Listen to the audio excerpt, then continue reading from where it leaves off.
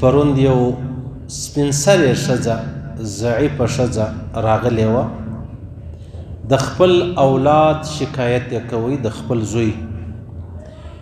و دې ځوان زوی ته دومره سختې بددعاوې کولې زما خو دا یقین دی چې دغه ښځه کافره سي مشرکه سي بیا وخپل هغه زوی ته بدعا وکي چې هغه زوی پر حق هم یې و هغه زوی ته بدعا وکي چې زوی پر حق هم یې دا نه حق یې لا پزل جلال د زما قسم الله رب العزت به د مور دعا یا بدعا قبلې زموږ ته د دې خبرو سره ډېر فکر اوښتی دی بابا او ادې که کافران و کافران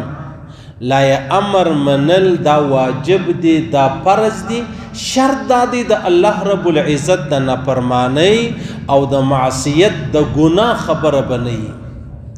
یو سړی مسلمان د قرآن حافظ، عالم، قاري، مجاهد، غازي، تبلیغي، اجي صاحب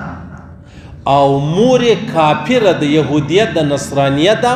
لا هم پر دې مولوي صاحب، تبلیغي، مجاهد باندې د هغه خپل کافر مور یا کافر پلار اطاعت چې دی هغه ضروري دی هغه لازمي دی خامخا به کوي. شرط دا دی د الله او د رسول نافرمانه به چې په هغه کې نه وي و دې ښځې دومره سخته بددعا وکړه یاره زما والله زړه وکپېدی مال د دې ځوان به حال څه وای مولوي صاحب تړلی یم کله کله مې په کمره کې وتړي دروازه را پسې وتړي که به ما په درې درې ورځې خوراک کړی مولوي صاحب دا مسجد دی دا کعبه ده خو زو خدای دا غاسی بد عمل اولاد الله رب العزت را کړی دی په داسې تنګ ځای کې یو ځای کړی یم چې والله که یو ورځ تېرېږي یا شپه تېرېږي د خدای روی درته نسم دا زما زوی خو راوغواړه ته څه خبرې ورته وکړه ای دا جبه خبره د مور د خپل ځوان زوی شکایت کوي مور د خپل ځوان زوی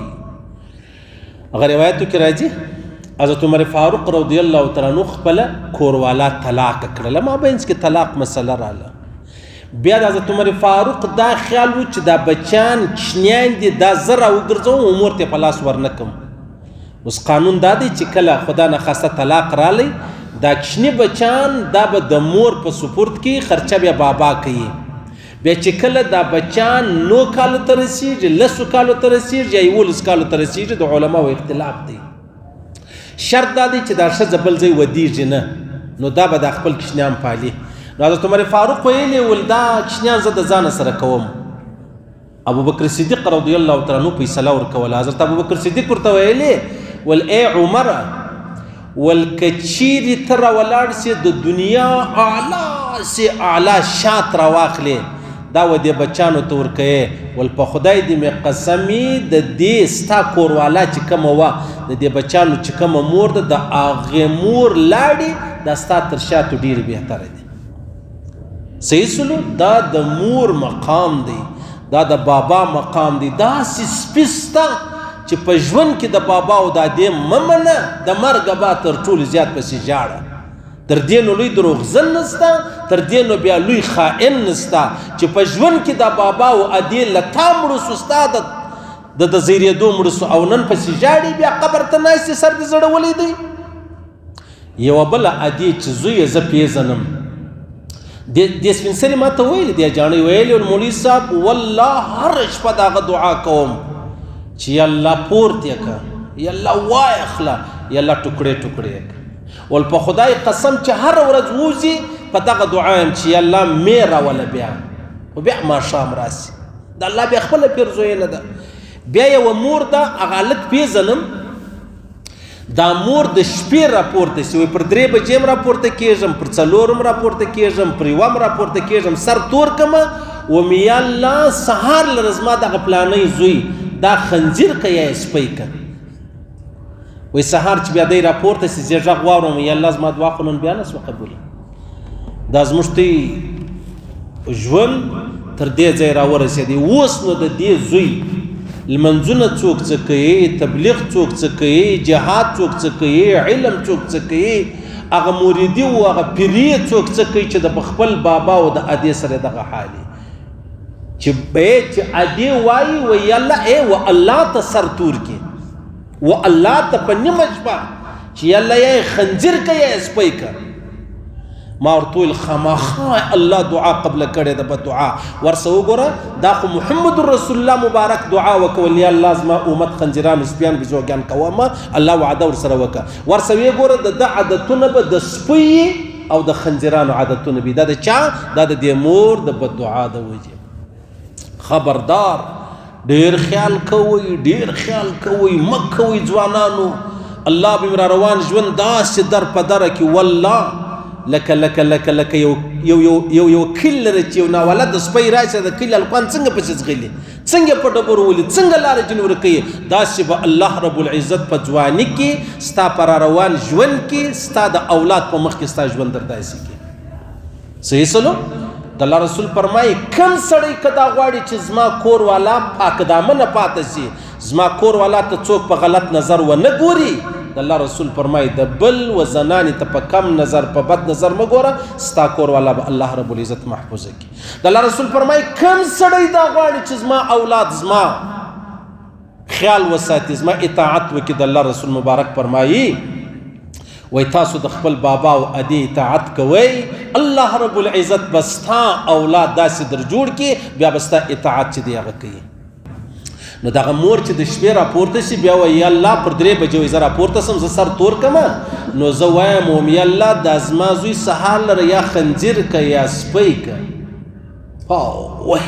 بیا څونه دلاور خلک دي دا بیا څنګه ځوانان دي څونه دلاور دي او څون او څونه بد قسمت دي څونه بد قسمت دي د د دعوه یو پیر یو ملا یو آغا یو سید یو مشر یو یو ملک یو خان یو سردار یو نواب د دو د مور مسله غور خلاصي دنیا نن دې سټیج ته راورسېده، د زوی او د مور په اصلاح غا صاحب او مولوي صاحب او پیر صاحب د مالې مشر یې ورکوي. توپ پر داسې ځوانۍ، توپ پر داسې نارینه و، توپ پر داسې ځوانانو. الله الله وعده کړې ده چې پرېږدم مې نه. د الله رسول فرمایي هر ګناه چې وکې الله به په قبر کې تا ته عذاب درکوي واحد ګناه دا ده چې کم څوک بابا وادي زیري الله فرمایي زه په دنیا کې لا د ذلت شروع کوم په دنیا کې ولګوي اندازه ولګوي دا د سبق خبرې درته کوم دا دا د پرون پرون خبره درته کوم زم الحمدلله بابا لرم ادې لرم تاسو به هم لرئ که تاسو نه لرئ ستاسو بچان خو ادې یې به دا به موږ څه چم کوو ډېر والله د پریشانۍ خبرې دي ډېرې د غمو خبرې دي کله به الله رب العزت موږ ته هدایت کوي کله به موږ پر نیکه لار روانېږو تر روپۍ موږ ته یو شی نه دی راتېر تر مور پلار روپۍ راتېرې دي تر الله راتېرې دي د الله تر رسول راتېرې دي تر ختم نبوت موږ ته روپۍ راتېرې دي ورسه د ځوانانو ته ورته کینیډا او اسټرالیا ولا چې دی هغه تا ته نېشنلټي درکوي تا ته هغه په خپل وطن کې ژوند درکې شر دا دی قادیانۍ سي په خدای دې مې قسم د مسجد مؤذن لا قادیانۍ سي هغه وایي بیا به توبه ورسته وکړم نو دا کم څوک چې د بابا او دادې نه پرمانه دي ورسې معافي جنې وغواړي په پښو یې مچه کوي په پښو پروا نه لري ملامت یې هم دی بابا او دې دي ملامت دي کله کله څه دی خبرې دي و ملامتیا ته خلک نه ګوري خالي و دې ته ګوري چې ته قدرمن یې زه بې قدره یم څه یسو ته ته قدرمن یې زه بې قدر ته عزتمن یې زه بې عزته یم منم چې ته به په ما ملامت یې دا نه دي راغلي موږ دي لیدلي مولوي صاحب په امیانو ملامت نه یي امام په مقتدیانو ملامت نه یي ملامت یې نو دلته بابا وادي هم په زوی ملامت دي خو بیا هم ورسه د امام ورسه د مولوي صاحب ورسه د بابا ورسه د ادیسه معافي واخله که غواړئ چې زما را روان ژوند الله رب العزت را ښایسته کړي دا مې څو د درد خبرې درته وکړې خدای دې وکړي ستاسو سر په خلاص وي الله دې وکړي ستاسو سر په خلاص او کچا بابا وادي زیر کړی د ما ځای درې لر ورځي زیارتو لر ورځي ګوند الله رب العزت بیا معافي ورته وکړي کله چا سه بابا وادي زیر تللی دي